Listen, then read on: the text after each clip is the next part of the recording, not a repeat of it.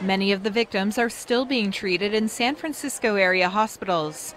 At least 20 people were injured, six in critical condition, when a double decker tour bus struck a cyclist and crashed into several cars before careening into scaffolding Friday afternoon. Just kept boom, boom, boom, boom, boom, boom, boom, and it was like it wasn't going to stop.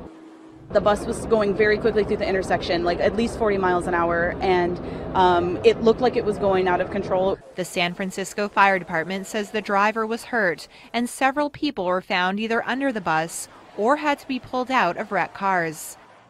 An investigation is underway to determine what caused this bus to so dangerously lose control.